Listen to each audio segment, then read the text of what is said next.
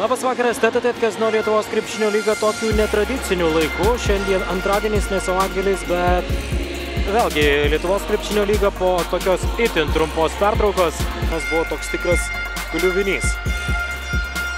O čia atėjimas iš viršaus. Tikrai puikiai progą susikūrė šiauliai, bet jie pasinaudoti nepavyko. 6-4 Lietkabelio komandos naudai.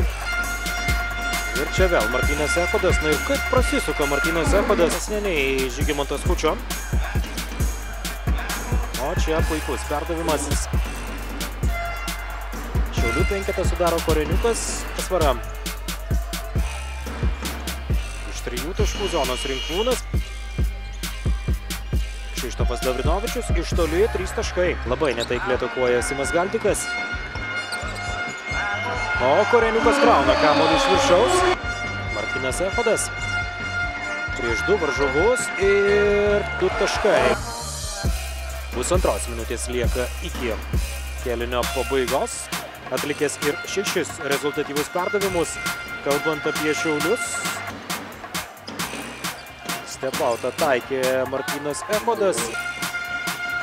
Martynas Echodas. Ir štai toks dėjimas iš viršaus. Tik Vladislavas Koreniukas, bet šis priekinės linijos pavėluotai vėl Gesdauskas, Jucikas.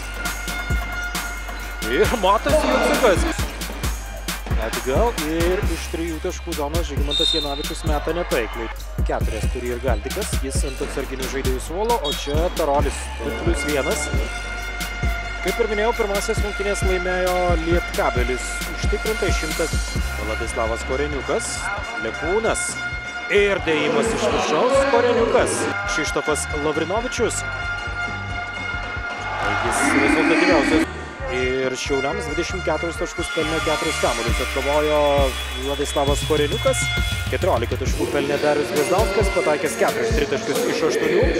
11 taškų surinko Martynas Echodas, atkovojęs 8 kamuolius, atlikęs 3 rezultatyvus perdavimus.